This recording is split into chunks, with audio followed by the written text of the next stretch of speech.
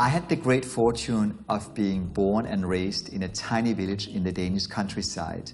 What I loved about growing up there was that I was surrounded by beautiful nature. And of course, uh, my family and I were closely connected. As a matter of fact, when you live in a tiny village, you get to know everyone. That had its pluses and minuses. As a kid, I was tiny. I was like a little dwarf. As a matter of fact, I was the shortest kid among my age bracket, and boy, did they poke fun of me.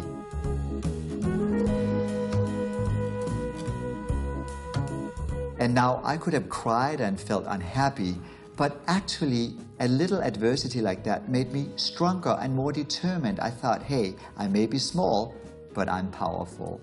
And truly, I would climb the trees, I would uh, create my own trapeze and pretend I was a circus artist. I was a little daredevil.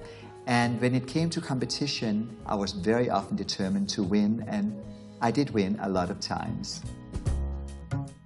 The one thing I knew was that I was determined to go out into the big world. Uh, as a matter of fact, I spent hours on end reading the magazines about Hollywood and the big world out there. Shortly after settling in Copenhagen, well, I landed in New York City, where I studied dance, which took me to Asia, where I was a show dancer. And it was actually during my time in Asia I developed cystic acne, and that became the catalyst to my long and wonderful career in skincare.